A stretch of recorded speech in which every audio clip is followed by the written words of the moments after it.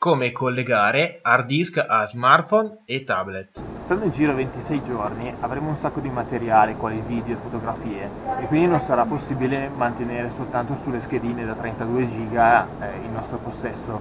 Eh, quindi abbiamo pensato che in che modo trasferirlo sull'hard eh, disk da 2 pollici e mezzo. Ho trovato su vari forum e eh, attraverso un po, di, po' di ricerche sono riuscito a trovare questo cavo che si chiama cavo OTG AY in cui c'è questa portina che serve per l'alimentazione.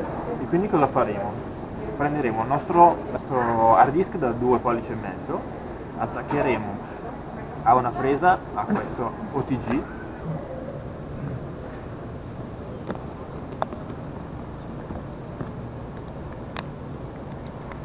Allora, una volta collegato il nostro hard disk dovremo alimentarlo perché l'alimentazione del, del, tab oppure del cellulare non sarà sufficiente per alimentarlo. Quindi nei casi estremi avremo anche eh, la possibilità di attaccarlo a una classica power bank oppure ad un alimentatore, è la, la porta micro USB.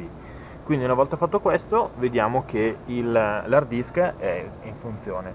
Fatto questo non eh, avremo altro che l'alimentazione che arriva da power bank o da alimentazione fino al eh, nostro hard disk. Avremo anche in questo caso ho preso una porta USB in più che non fa mai male per magari attaccare un altro, un altro dispositivo. Colleghiamo al nostro tab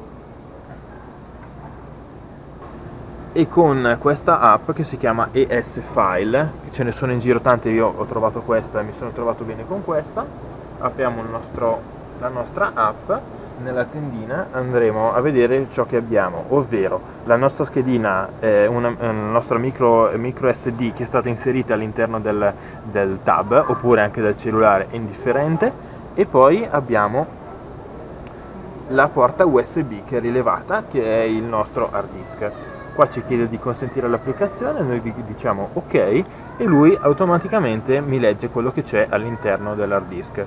Consiglio formattatelo prima, portate via il meno dati possibili.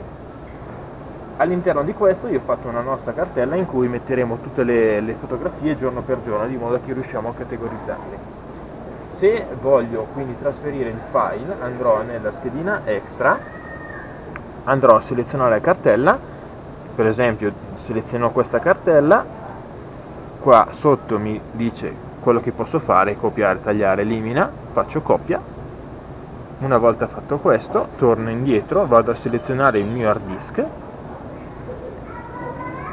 e decido di metterla in questa cartella attraverso incolla lui fa così è già processato e quindi ho trasferito quello che c'è nella mia schedina nel, direttamente nel, nell'hard disk attraverso il tablet oppure anche il cellulare, è la stessa cosa. L'applicazione l'ho scaricata su tutte, due, su tutte e due, di modo che abbiamo più sicurezza di, di avere più possibilità di, eh, di, gestire i nostri file. Quindi è un metodo eh, che ci permette di eh, trasferire tutti questi file senza bisogno del notebook. Giro del mondo solo con il bagaglio a mano. Siamo quasi al termine del nostro viaggio intorno al mondo con solo un bagaglio a mano.